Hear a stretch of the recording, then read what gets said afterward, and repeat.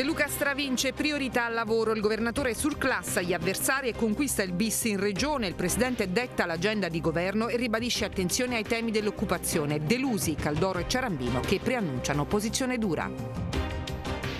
Le richieste dei cittadini ora risposte concrete. Lavoro, giovani, sanità, ma anche scuole e infrastrutture. Questi per gli elettori campani ai microfoni di 8 Channel i temi ai quali il nuovo governo deve prestare attenzione. PD e Italia Viva, boom in Irpini e il Partito Democratico, prima forza in provincia di Avellino, Espload Italia Viva e lista davvero Enzo Alai e Maurizio Petracca i candidati più votati. Buona affermazione anche del grande escluso del PD, Livio Petitto, che spera in un seggio. La rivincita di Mastella traina il governatore, noi Campania, la neoformazione del sindaco di Benevento, primo partito in città. Luigi Abbate eletto in consiglio, rimettiamo il Sannio al centro dell'azione regionale, il PD invece è il primo partito della provincia. Nel feudo di Salerno vince la continuità, una valanga di voti nella città del governatore confermati fedelissimi di De Luca, primo per numero di preferenze l'uscente Franco Picarone che all'8 Channel dice campagna dura, ora continuiamo il lavoro intrapreso. Faida di Secondigliano, arrestato di Lauro Junior, l'omicidio di Ciro Maisto freddato in villa comunale il 6 agosto 2008, catturati Marco Di Lauro, reggente del clan, e i tre presunti killer del comando sono considerati i mandanti e gli esecutori materiali dell'agguato. E questi erano i nostri titoli, buon pomeriggio, ben ritrovati con l'informazione del canale 696 e allora cominciamo dai risultati di queste consultazioni elettorali, cominciamo dalle regionali, ovviamente De Luca che travolge tutti, una priorità al lavoro e la battaglia per l'equa distribuzione dei fondi europei del Recovery Fund, questo eh, nell'immediato futuro, il Presidente della Regione riconfermato con quasi il 70% dei consensi, espugna anche la città di Napoli eh, espugnati eh, completamente i suoi avversari, Forza Italia e 5 Stelle crollano, la Lega non supera il 5%, è stata una vittoria eh, di popolo, ha detto il governatore. Allora vediamo questo servizio. La campagna sarà nelle mani di Vincenzo De Luca anche nei prossimi cinque anni. Il governatore sceriffo ha stravinto, come da pronostico, la Bella che lo vedeva opposto per la terza volta in dieci anni al candidato del centrodestra Stefano Caldoro. Nel 2015 De Luca vinse di misura, oggi sfiora il 70%, mentre il suo rivale di centrodestra non arriva al 18%. Il governatore ha intercettato i due terzi dei consensi, prosciugando di voti soprattutto il bacino elettorale del centrodestra, dove non sfonda la Lega, ferma ferma al 5%. E lui stesso, in apertura della conferenza stampa della vittoria, lo ha sottolineato. Credo che sia un dovere di onestà intellettuale chiarire che questo dato elettorale della campagna non può essere letto in termini di destra e di sinistra. La mia candidatura è stata sostenuta dal mondo progressista, come ovvio, ma anche da tante forze moderate, da tante forze anche della destra non ideologica che si sono riconosciute in un programma di governo, si sono riconosciute innanzitutto nel lavoro di questi anni, lo sguardo al futuro immediato e ai prossimi cinque anni con la consapevolezza che il Covid non ha affatto allentato la morsa. Anzi, secondo De Luca in Italia si è sottovalutata la portata della pandemia in atto e siamo già nella seconda ondata. Per De Luca ci aspettano mesi di battaglie durissime con l'arrivo dei soldi europei del Recovery Fund, ma l'obiettivo deve restare il lavoro. Per il futuro abbiamo indicato un programma che ha al centro un solo obiettivo, uno soltanto il lavoro per i giovani di Napoli e della Campania. Abbiamo l'ambizione di interrompere o almeno frenare l'emorragia di giovani dal sud al nord. In modo particolare per quanto riguarda il Covid, io credo che siamo di fronte ad una sottovalutazione drammatica della situazione dell'Italia e che è già diventata necessaria una linea di nuovo rigore e di nuovo controllo anche su comportamenti non responsabili.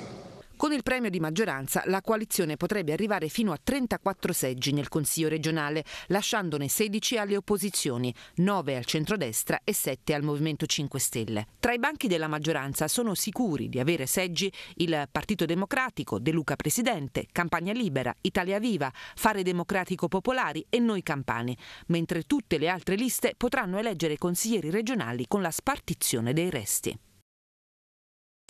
E sentiamo adesso invece le reazioni degli sfidanti da Caldoro a Ciarambino. Sono i grandi delusi dell'appuntamento elettorale travolti dall'onda deluchiana che ha lasciato solo le briciole in termini di consenso. Centrodestra e Movimento 5 Stelle escono nettamente sconfitti dalla contesa per le elezioni regionali. Nella coalizione che ha sostenuto Stefano Caldoro si prepara la resa dei conti. In ballo la leadership della coalizione per dettare l'agenda dei prossimi appuntamenti elettorali. Caldoro alla terza sfida con De Luca preannuncia però opposizione dura a Palazzo Santa Lucia. Si farà nei prossimi giorni anche chiaramente un esame di quello che è il risultato complessivo anche delle, delle liste e, e, di tutta la coalizione, però io prendo la parte dell'impegno che per quanto ci riguarda continueremo a mettere in campo per la verità della situazione, quindi continueremo a dire la nostra, continueremo a dire con forza, con chiarezza, prendendo atto di un risultato, noi siamo da questo punto di vista, affrontiamo sempre con serietà e con chiarezza, quindi non è che evitiamo un giudizio complessivo su quello che è avvenuto, ne diamo una spiegazione e ci rimbocchiamo le maniche e io per quanto mi riguarda insieme alla pattuglia che sarà eletta in Consiglio regionale faremo un'opposizione dura, decisa, forte, nell'interesse dei cittadini campani, continuando a dire sempre la verità. Male i 5 Stelle che non hanno raggiunto il 10% nonostante la campagna elettorale contraddistinta dai toni duri contro il governatore. È stata una battaglia difficilissima, falsata fin dal principio dalle condizioni di partenza. Il commento a caldo di Valeria Ciarambino. Abbiamo combattuto contro uno che il Covid ha trasformato in una star. Cinghialotti e lanciafiamme gli sono serviti per vincere. È diventato, l'affondo dell'esponente 5 Stelle contro De Luca, il comico più famoso d'Italia. Ma ora anche nel movimento, così come per il centrodestra, si aprirà il tema della leadership. E sentiamo invece che cosa chiedono adesso eh, i cittadini campani che hanno votato eh, De Luca. Lavoro, giovani, sanità, ma anche scuole e infrastrutture. Per i campani sono questi i temi su cui il governatore Vincenzo De Luca dovrà puntare nel eh, corso dei prossimi cinque anni. Vediamo. Sanità, giovani e soprattutto lavoro, ma anche scuole e infrastrutture. All'indomani delle elezioni i cittadini campani non hanno dubbi, dovranno essere questi temi su cui il governatore Vincenzo De Luca, riconfermato alla guida di Palazzo Santa Lucia ed il nuovo Consiglio regionale, dovranno puntare per il territorio. Sanità e lavoro. La sanità, il lavoro per i giovani, insomma, ecco lo sviluppo. Il lavoro è l'unica cosa che serve, la cosa più importante. Lavoro ai giovani, sicuramente. Sanità, ovviamente credo che siano le cose fondamentali e anche nella scuola. Il tema importante è sicuramente il lavoro, io penso sia anche sociale, per cui si debba voglio dire, anche eh, svolgere un ruolo fondamentale per i servizi sociali. Creare delle industrie, creare il lavoro. Impedire che i giovani siano costretti ad andare via per trovare lavoro resta dunque una delle priorità per i cittadini della Campania. Partire dalla valorizzazione delle risorse che ci sono qui in Campania e cercare di dare incentivi ai giovani perché possano eh, impegnarsi a restare qui. Il turismo, questa è, diciamo, è, la base, partire da questo per poi aiutare anche i giovani che sono senza lavoro e non spingere ad andare al nord. Dobbiamo dare lavoro ai giovani per crescere.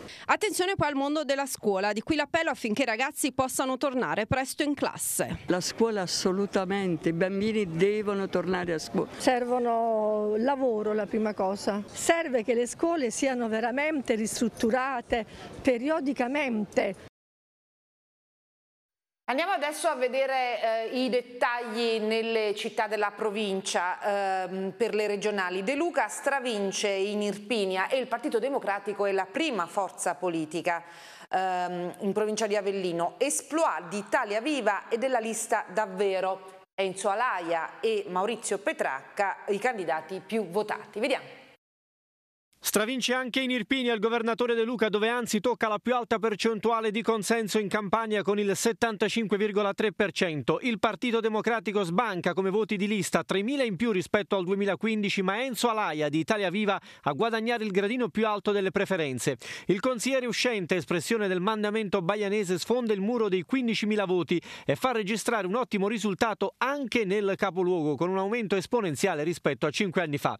Grande entusiasmo nel suo comitato elettorale elettorale a due passi da Piazza del Popolo. In città comunque il più votato delle 72 sezioni è stato Livio Petitto, il grande escluso del Partito Democratico che con la lista davvero partito animalista spera in un seggio nel parlamentino del centro direzionale e non ha nascosto il suo ottimismo attraverso un post pubblicato su Instagram.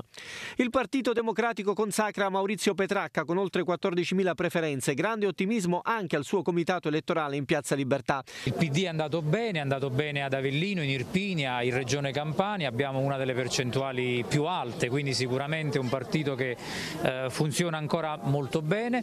L'ex Demitiano ha portato avanti una campagna elettorale molto radicata sul territorio grazie al lavoro dei due ex assessori comunali Nicola Giordano e Modestino Verrengia e dell'attuale consigliere di opposizione Ettore Iacovacci. Del resto si sapeva che tra i Dem qualcuno avrebbe pagato il conto. Rosetta D'Amelio porta a casa più di 10.000 preferenze ma non basteranno per confermarla nel Consiglio regionale.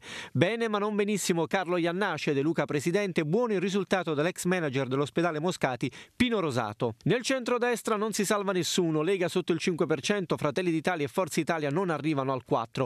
Infine il Movimento 5 Stelle raccoglie quasi 13.000 voti, con l'ex sindaco Vincenzo Ciampi che risulta il candidato più votato.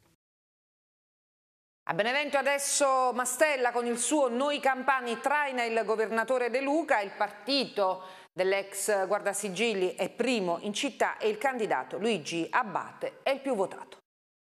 Nel Sagno Clemente Mastella con il suo Noi Campani va da traino alla coalizione a sostegno del presidente Vincenzo De Luca che in provincia di Benevento ha totalizzato il 64,64% delle preferenze con 82.800 voti. Si ferma al 24% il centrodestra con il candidato Stefano Caldoro ed un totale di 30.748 voti. Solo al 9,23 il Movimento 5 Stelle con Valeria Ciarambino che totalizza 11.820 preferenze. E se Clemente Mastella conquista il podio in città città con 3.828 voti ed il 16,62%, il Partito Democratico torna ad essere il primo partito nel Sagno con il 14,30%. Quasi 10.000 preferenze incoronano Luigi Abbate, candidato della lista Noi Campani di Mastella, come il più votato nella circoscrizione di Benevento. Il medico beneventano, ex presidente della Gesesa, ha incassato 9.903 voti.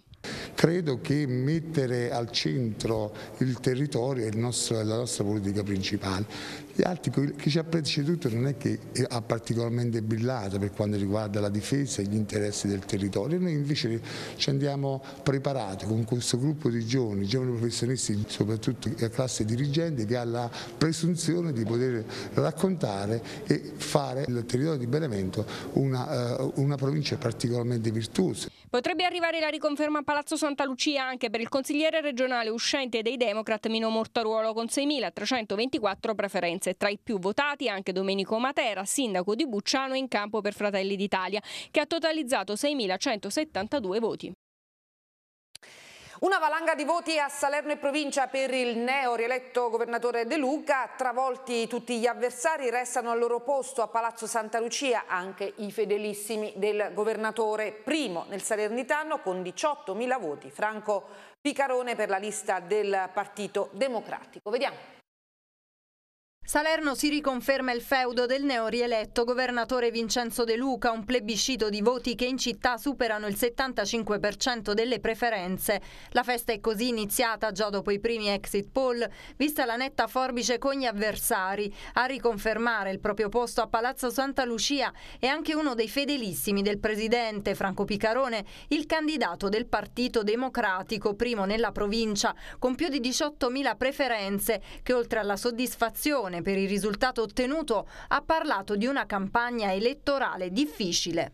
Importantissima, un risultato del Presidente De Luca straordinario eh, che ci mette nella condizione di proseguire il lavoro come avevamo chiesto in campagna elettorale in condizioni di forza sufficienti per eh, mandare avanti tutti i progetti che riguardano il, soprattutto, come ha detto il Presidente, lavoro e sviluppo.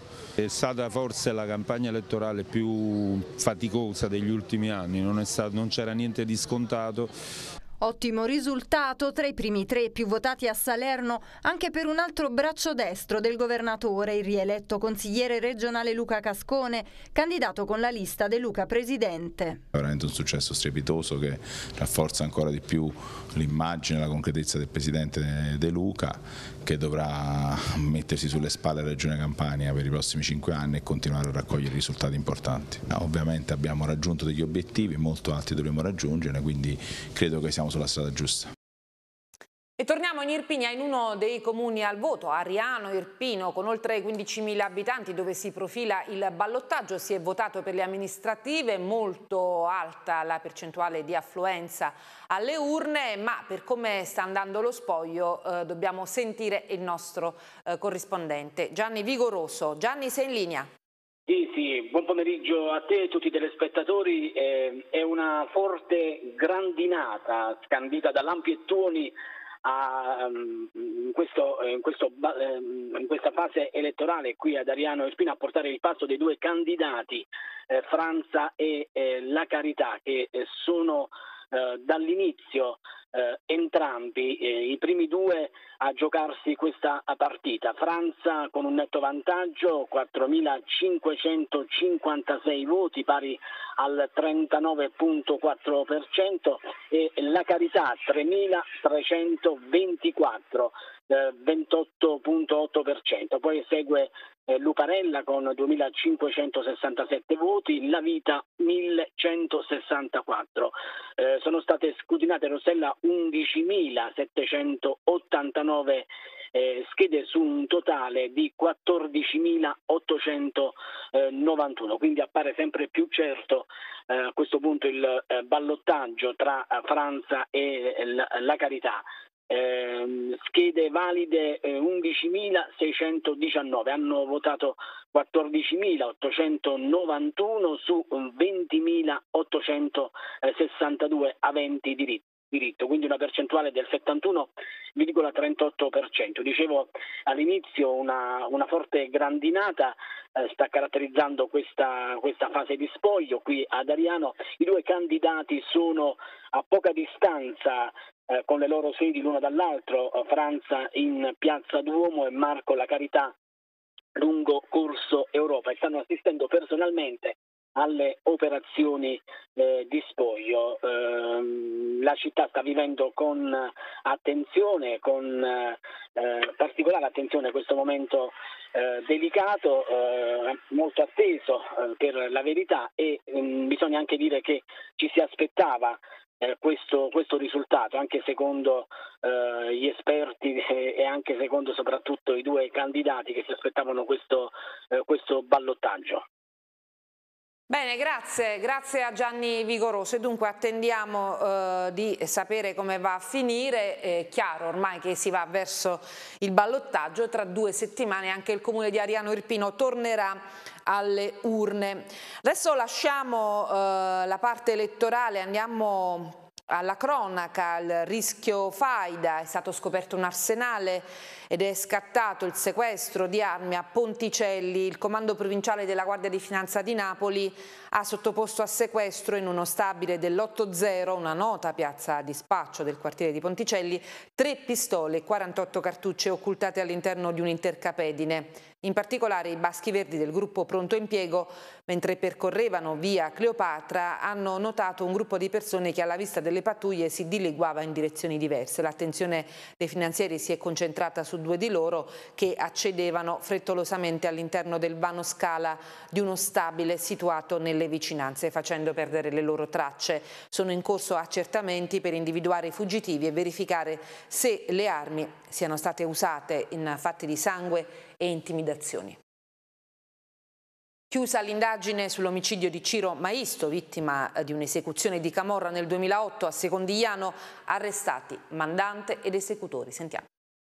Venne ucciso 12 anni fa in un'epurazione interna al clan di Lauro durante la seconda faida di Scampia. Ora le indagini dei carabinieri hanno portato il GIP di Napoli a firmare quattro misure cautelari nei confronti di mandanti ed esecutori di quel delitto.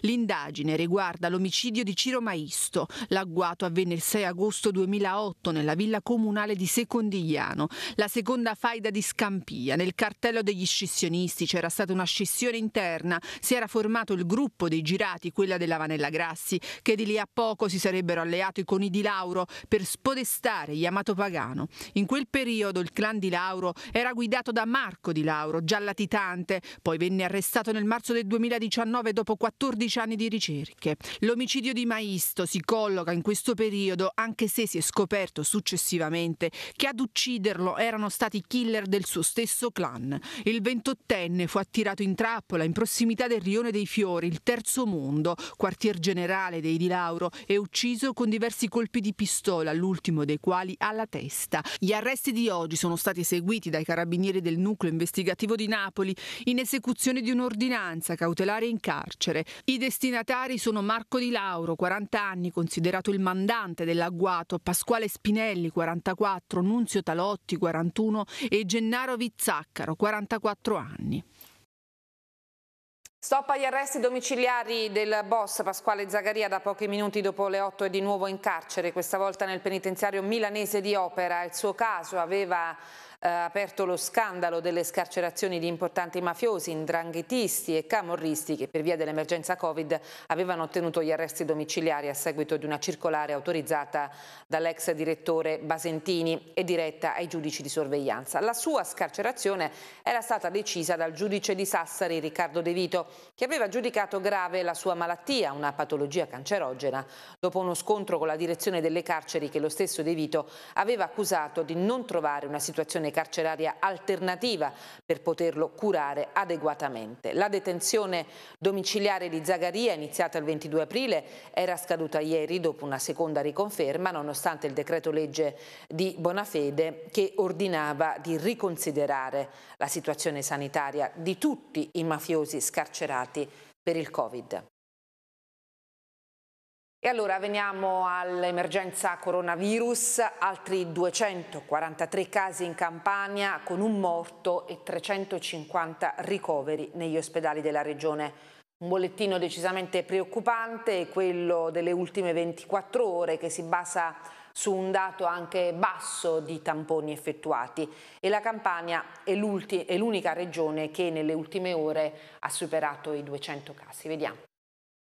Coronavirus impennata di nuovi positivi in Campania, un vero e proprio record quello registrato nelle ultime ore con altri 243 nuovi casi. 350 le persone ricoverate ieri negli ospedali di tutta la regione, 22 quelle sistemate in terapia intensiva e un morto. Nell'ospedale simbolo della lotta al Covid, il Cotugno, 37 sono i pazienti sistemati in degenza ordinaria, 16 in subintensiva e 8 in rianimazione. Intanto si registra un nuovo decesso che si aggiunge alle 400 156 vittime che si contano in Campania dall'inizio della pandemia. E la Campania è anche la prima regione per numero di contagi nelle ultime 24 ore. Sono oltre 200 ed è seguita dal Lazio con 198 nuovi casi. Intanto in Irpinia sono 12 nuovi contagi che si registrano in 24 ore con la situazione di Avella e di Sperone che conferma che il cluster nel mandamento non si spegne e i contagi non si arrestano. In provincia di Avellino i casi sfiorano le 200 unità da inizio luglio. Nuovo caso di positività al Covid nel comune di Sant'Angelo a Cupolo. Ad annunciarlo sui social è il sindaco Fabrizio Dorta e sono 91 i casi nel Sagno. Il numero più alto di contagi intanto è a Benevento con 30 positivi e restano 13 i casi a Montesarchio. Nel Salernitano sono stati rilevati 6 positivi, di cui 4 a Sarno, 1 a Vietri e 1 a Scafati. In tutto il Salernitano supera i 370 casi. Sorvegliata speciale resta nel Casertano Terra di Lavoro. Nel capoluogo 70 casi, ma preoccupano i focolai di Casal di Principe, 49 contagi contagi, Castel Volturno 54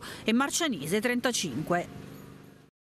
A Benevento una vigilessa è risultata positiva al coronavirus e per questo sono scattate le procedure di sanificazione e i tamponi per due agenti che avevano avuto un contatto con eh, la donna. Intanto sale di una unità il numero dei contagiati nel Sannio. Vediamo. La tregua sui contagi nel Sannio è stata interrotta in mattinata con l'annuncio del sindaco di Sant'Angelo a Cupolo, Fabrizio Dorta, sulla positività di una donna del centro del medio calore.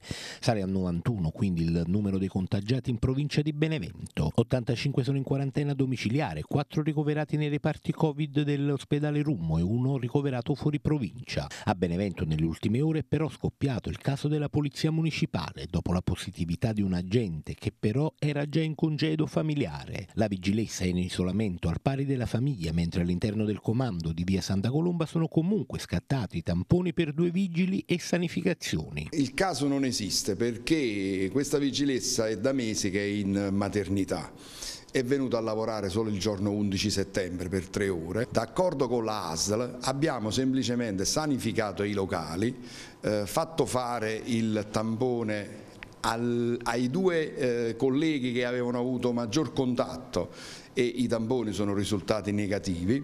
Purtroppo è tutto all'interno della famiglia il problema e alcuni di loro sono stati messi in quarantena fiduciaria, quindi è un caso che effettivamente non ha motivo di esistere, è una tempesta in un bicchiere d'acqua. Si attendono i risultati definitivi dello screening effettuato in carcere agli agenti della Polizia Penitenziaria e ai detenuti, che ad oggi ha evidenziato sei positivi. La scuola a Benevento si tornerà tra i banchi il primo ottobre. Il sindaco Mastella ha emanato un'ordinanza per il differimento delle attività didattiche, necessario qualche giorno in più per garantire l'espletamento in sicurezza sia per il personale che per gli alunni. Vediamo.